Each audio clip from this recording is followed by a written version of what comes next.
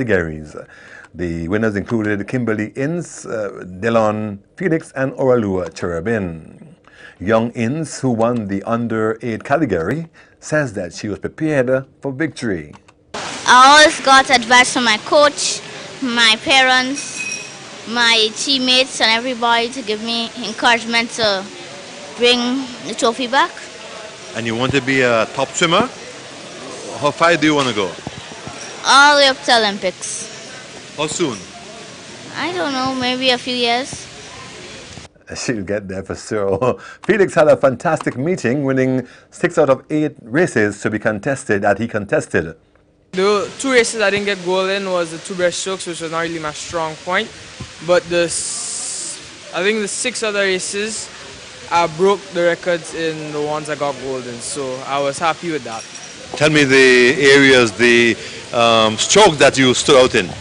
I stood out in 100 backstroke, 50 backstroke, 100 free, 400 free, and 200 free. Those are the races I stood out most in. Was it a walkover or you had keen competition from the other swimmers? I had keen competition from St. Vincent and Antigua. They put up a fight against me, but it wasn't easy competition. It was tough.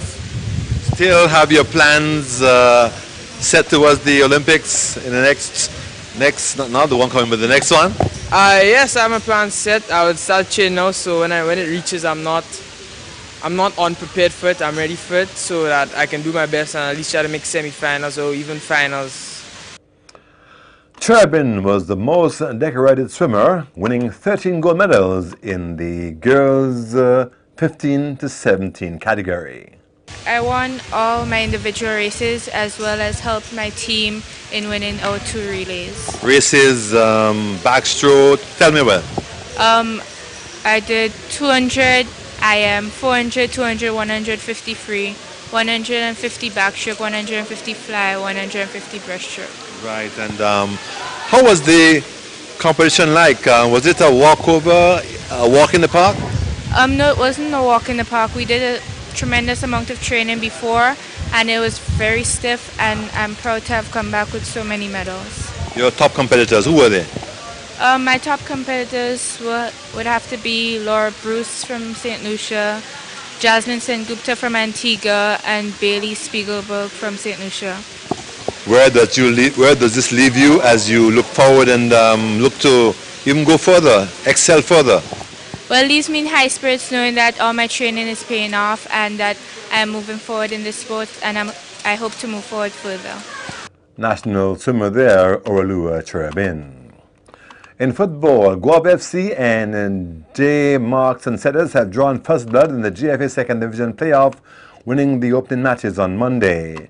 Gouyave FC beat Christian Strikers two goals to nil at the Cuthbert Peters Park in Gouyave, while Sunsetters stopped North Stars uh, four goals to nil at Fur Pasture in St. Patrick. The return fixtures are scheduled for Saturday, November the 17th. Uh, the final is set for November the 23rd.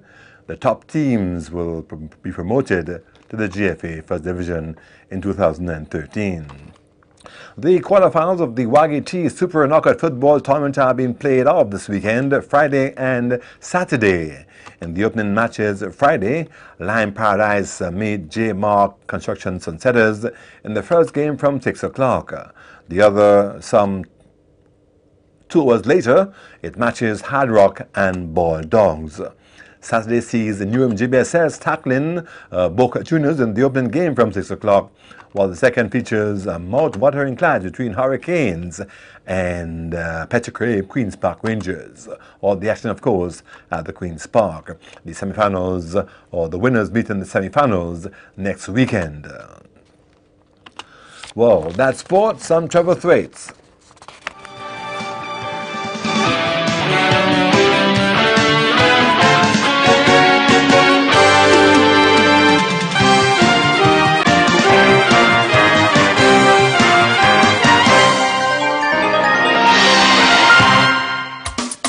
Folk Festival 2013, celebrating our Indian heritage, featuring music, food, arts, crafts, fashion, and a tour of the northern coastline aboard the Discovery Train, December 6th to 8th. Stay tuned for more information.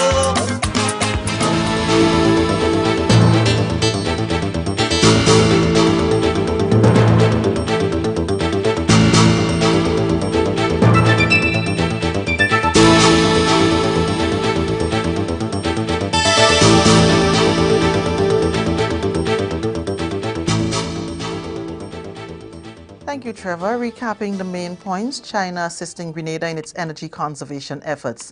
WRB advises government that bid price per share in GRENLEC is too low and two bills down for first reading when Parliament meets on Friday. That is the GIS News. I'm Leslie Ann Johnson Cornwall. On behalf of all those who made it possible, we thank you